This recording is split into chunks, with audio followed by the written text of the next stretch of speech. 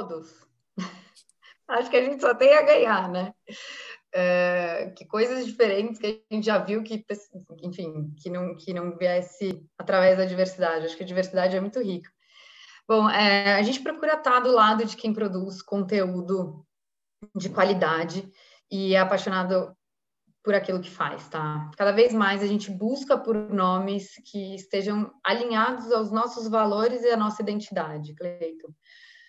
Assim como nas ações internas e com a imprensa, a diversidade e inclusão é um pilar muito forte é, na nossa relação e comunicação com os influenciadores e por quem a gente trabalha com esse relacionamento. Então, a gente, pensando em manter um mailing é, representativo, a gente procura se associar com nomes da comunidade gamer que estão atrelados a diferentes e diversas causas, tá?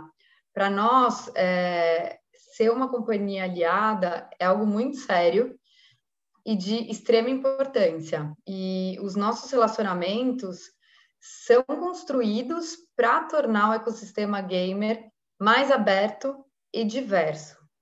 A gente sabe que, infelizmente, Clayton, ainda é, dentro desse universo gamer, possui, ele possui diversas é, questões em relação à presença de mulheres, então, assim, existem ambientes muito tóxicos. A gente já viu várias, é, inclusive a Telefônica, no passado, fez uma campanha muito legal com mulheres gamers se passando por homens.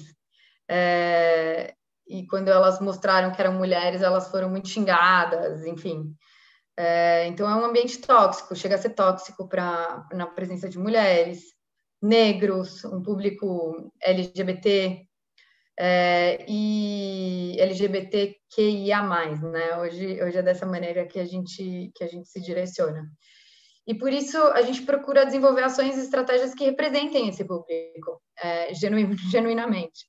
Então, nos últimos meses, a Intel se conectou com diversos influenciadores e iniciativas para fomentar a diversidade no meio gamer, tá?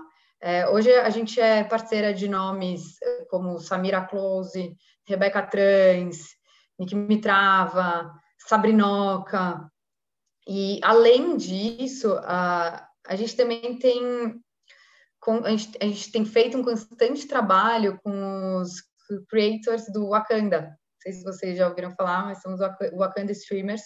Eles são um coletivo que procuram dar suporte e orientação para streamers negros.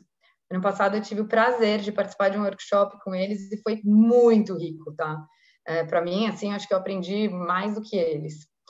Então, para a gente apoiar a diversidade nesse universo e se unir com esses nomes, mostra como os pilares da Intel aqui no Brasil norteiam todos os relacionamentos com os nossos parceiros.